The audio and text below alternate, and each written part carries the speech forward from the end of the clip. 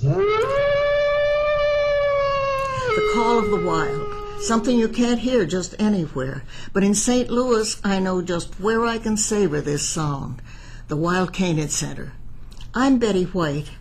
Did you know the rarest of the rare are right here in your own backyard?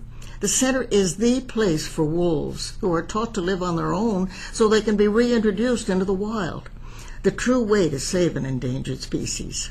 The center's pups are now leading new packs and celebrating births of their own in the wild. Please join me in the fight to save these magnificent animals. Support the Wild Canid Center by making a donation or becoming a member.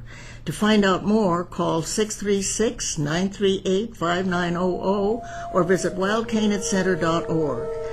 Make sure our children are able to hear the call of the wild for years to come.